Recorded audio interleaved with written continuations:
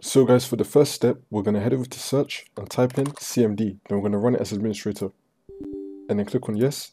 Once we're on it, we're going to type in SFC space forward slash scan now and click on enter.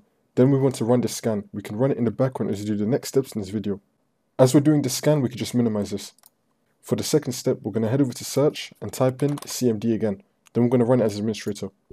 And then click on yes. Then a second box will appear. Next, we're going to type in ipconfig space forward slash flush DNS and click on enter. Then we're going to type in netsh space winsock space reset and click on enter. It's going to tell you to restart your computer, but don't restart it yet until you complete all the other steps in this video. For the last step, you want to head over to search and type in add or remove programs. Click on it. Once you're on it, you want to scroll down and look for the Minecraft launcher. I don't have it on this computer, but once you find Minecraft launcher, you want to click on the three dots, then click on advanced options.